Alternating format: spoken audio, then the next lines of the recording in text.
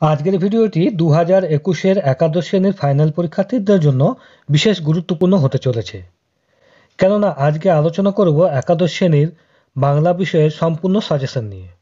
সম্পূর্ণ সাজেশন অর্থাৎ গদ্য, পদ্য, প্রবন্ধ, বাংলা সাহিত্যের ইতিহাস, ভাষা সাহিত্যের ইতিহাস থেকে কোন কোন প্রশ্নগুলি দু হাজার একুশের একাদশ শ্রেণির ফাইনাল পরীক্ষায় যেগুলির আসার সম্ভাবনা অত্যধিক প্রবল, সেগুলি নিয়েই আলোচনা করব। তাই এখনও যে বা যারা চ্যানেলটিকে সাবস্ক্রাইব করোনি, অবশ্যই চ্যানেলটিকে সাবস্ক্রাইব করো আর যারা সাবস্ক্রাইব করেছ তাদের অশেষ ধন্যবাদ জানাই। তাহলে চলো শুরু করি আজকের মূল আলোচনা। প্রথমে আসি গদ্য। গদ্য থেকে তোমাদের প্রথমেই করতে হবে, মনে হবে তেলানাপতা বলে কোথাও কিছু সত্যিই নেই। এ কথা কার কেন মনে হবে? এই মনে হওয়ার কারণ কি? দু নম্বর প্রশ্ন, কে? নিরঞ্জন এলি? নিরঞ্জন কে? কোন পরিস্থিতিতে গল্পকথক নিরঞ্জনের ভূমিকায় অবতীর্ণ হয়েছিলেন? পরের প্রশ্ন তেলেনাপোতা যাওয়ার কারণ কি? একে লেখক আবিষ্কার বলেছেন কেন? পরের প্রশ্ন, ডাকাতের মা ছোট গল্প অবলম্বনে সৌখীর মায়ের চরিত্র বিশ্লেষণ করো। পরের প্রশ্ন, ছেলের নামে কলঙ্ক এনেছে সে। কে ছেলের নামে কলঙ্ক এনেছে? কলঙ্ক শব্দটি ব্যবহারের কারণ কি? প্রতি মুহূর্তে বুড়ি এই প্রশ্নের ভয়ই করছিল। কোন প্রশ্নের কথা বলা হয়েছে? বুড়ির ভয় পাওয়ার কারণ কি? পরের প্রশ্ন, ওরে অবধ, আমার ধরাও নেই, ছাড়াও নেই। তোরা ছাড়লেই আমার ছাড়া। এখানে কে কাদের অবধ বলেছেন? উক্তিটির তাৎপর্য আলোচনা করো। এবার আসি প্রবন্ধের সাজেশনে প্রথমে তোমাদের করতে হবে ভিনিসের কর্তৃপক্ষের কাছে তার কদর বেড়ে গেল। কার কদর বেড়ে গেল? এই কদর বাড়ার কারণ ও পরিণাম উল্লেখ করো। সংক্ষেপে গ্যালিলিওর ছাত্রজীবনের বর্ণনা দাও। পরের প্রশ্ন, নিজের দূরবীন নিয়ে গ্যালিলিও অনেক নতুন আবিষ্কার করলেন। দূরবীনের সাহায্যে গ্যালিলিও কী কী আবিষ্কার করলেন, সনাতনীরা তার বিরুদ্ধতা করেছিলেন কেন? পরের প্রশ্ন, এই স্বভাবই শেষ জীবনে তার অশেষ দুঃখের কারণ হলো। কার, কোন স্বভাবের কথা বলা হয়েছে, সে স্বভাব তার শেষ জীবনে অশেষ দুঃখের কারণ হলো কীভাবে? নেক্সট প্রশ্ন ক্যাথলিক খ্রিস্টান যাজকদের সঙ্গে গ্যালিলিওর বিরোধের কারণ কি? গ্যালিলিওর জীবনের শেষ ন বছর যে অবস্থায় কেটেছিল, তার বিবরণ দাও। এবার পদ্মের সাজেশন তার আগে জানাই, ইতিমধ্যে তোমাদের বিভিন্ন বিষয়ে সাজেশন চ্যানেলে পোস্ট করা হয়েছে। ডেসক্রিপশন বক্সে তাদের লিঙ্ক দেওয়া থাকবে। সেখান থেকে তা তোমরা সেগুলো অনায়াসে দেখে নিতে পারো। পদ্য থেকে তোমাদের প্রথমে করতে হবে, কিন্তু বৃথা এ গঞ্জনা। বক্তাকে, তিনি কাকে গঞ্জনা দিতে চেয়েছেন, কেন তার মনে হয়েছে এ গঞ্জনা বৃথা? মহারথী প্রথা কি হে? এই মহারথী? মহারথী প্রথা কি?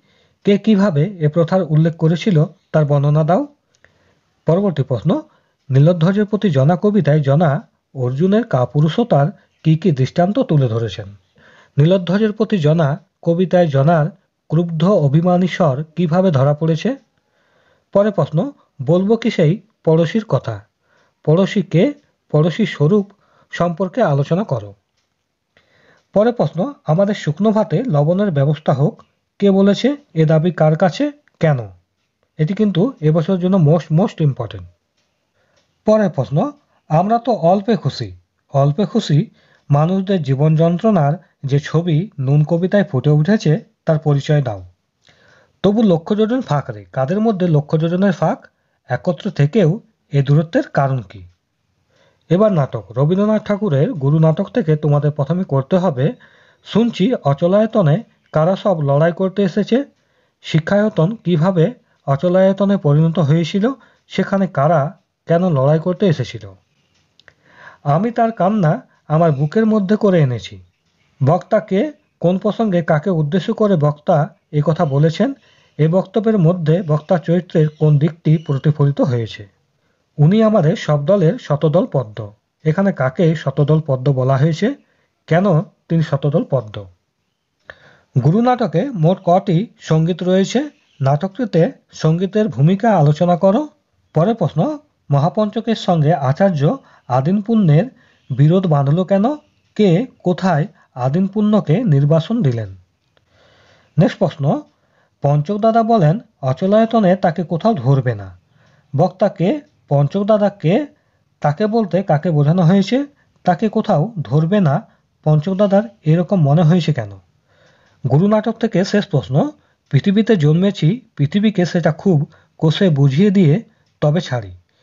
কে কোন প্রসঙ্গে এই উক্তি করেছে, উক্তির তাৎপর্য বুঝিয়ে দাও। এবারে তোমাদের বাংলা সাহিত্যের ইতিহাস। সেখান থেকে তোমাদের করতে হবে, বাংলা ভাষার আদি নিদর্শন কোনটি এটি কে কোথা থেকে আবিষ্কার করেন, বাংলা সাহিত্যের ইতিহাসে এ গ্রন্থের গুরুত্ব কোথায়? পরবর্তী প্রশ্ন চণ্ডীমঙ্গলের শ্রেষ্ঠ কবিকে তার কবি প্রতিভা আলোচনা করো। পরবর্তী প্রশ্ন, রবীন্দ্রনাথের কাব্যগ্রন্থগুলির কাল অনুসারে বিভাগ করো, প্রতিটি বিভাগের একটি করে কাব্যগ্রন্থের নাম লেখো। গীতি কবিতা কাকে বলে? এ ধারায় বিহারীলাল চক্রবর্তীর অবদান আলোচনা করো। শ্রী চৈতন্যদেব কত খ্রিস্টাব্দে কোথায় জন্মগ্রহণ করেন? বাংলা সাহিত্যে চৈতন্যদেবের প্রভাব আলোচনা করো। বৈষ্ণব পদরচনায় বিদ্যাপতির প্রতিভার পরিচয় দাও। তাকে বাংলা সাহিত্যের ইতিহাসে অন্তর্ভুক্ত করার কারণ কি? শ্রীকৃষ্ণ বিজয় কাব্যটির রচয়িতাকে তিনি কি উপাধি পেয়েছিলেন? তার কাব্যটির সংক্ষিপ্ত পরিচয় দাও।